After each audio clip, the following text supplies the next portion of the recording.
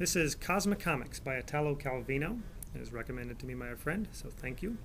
And uh, the short stories in this little book all center around the topic of the evolution of the universe.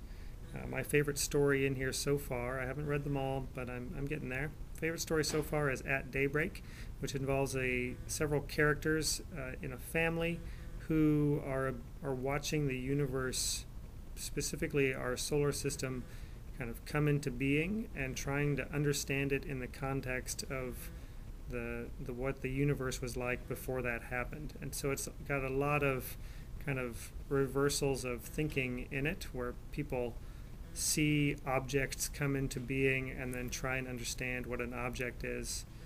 Uh, so it's very interesting and uh, really like kind of forcing your mind to go through exercises uh, in the imagination, which I thoroughly enjoy. So uh, I definitely recommend checking out some of the short stories of Italo Calvino in Cosmicomics.